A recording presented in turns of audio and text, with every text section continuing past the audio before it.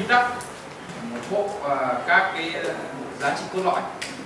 Và cái bộ triết lý đấy nó sẽ bao trùm các cái cách thức cụ thể để làm việc và phù hợp với lại các cái, cái nhu cầu khác nhau. Như là extreme programming thì dành cho một cái nhóm lập trình để làm việc những nhóm startup chẳng hạn.